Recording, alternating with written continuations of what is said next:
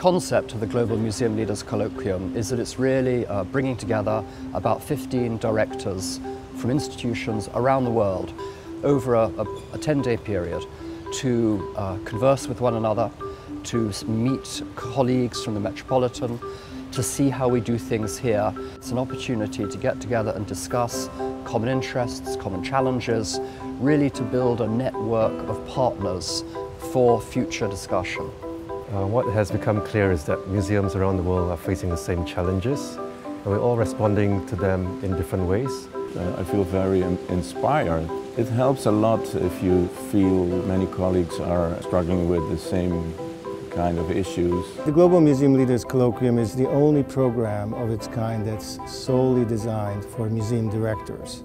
And unlike many other international sectors, there's very little being done to wire it together at a leadership level. So we thought that would be a very appropriate role for the Metropolitan to play. This program is not only learning from Metropolitan Museum, it's about learning from each other.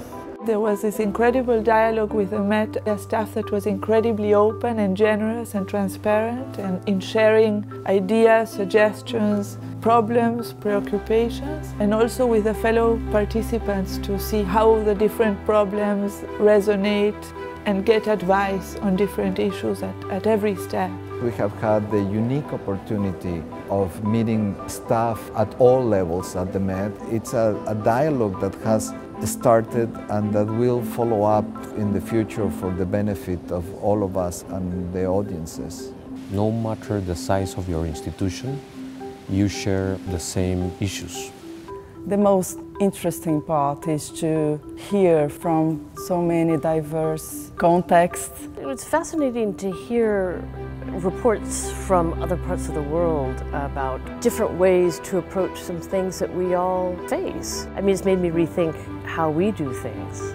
And it certainly made me rethink plans for the future in terms of a world of opportunities out there.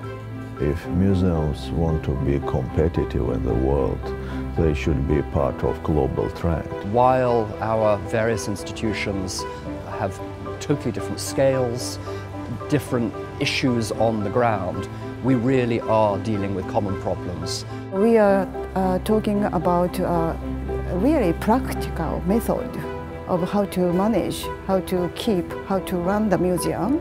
Museums need to be creative and innovative to remain relevant in the changing world. We can get really stuck in our museums, so it's really useful to be able to compare and to be able to assess oneself in a broader context and to be inspired by the innovations that people have tried out. Networking with our colleagues and our museums is something very important. Before coming here, I just already thinking of my staff and people in my country. But when I come here and share the experience, I start thinking about the international collaborations. The GMLC is very much an active uh, producer of new ideas that everyone desperately needs in this field. For me, perhaps the sort of the highlight of the whole event was when Augustine, the, the director from Mexico City, um, gave a, a very moving speech and said that really what unites us all is that we're trying to put